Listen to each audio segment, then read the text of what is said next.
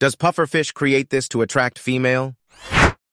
This little Japanese pufferfish is so drab it's virtually invisible. However, he is arguably nature's finest artist, which makes up for it. He produces something that almost defies belief in order to attract a female's attention.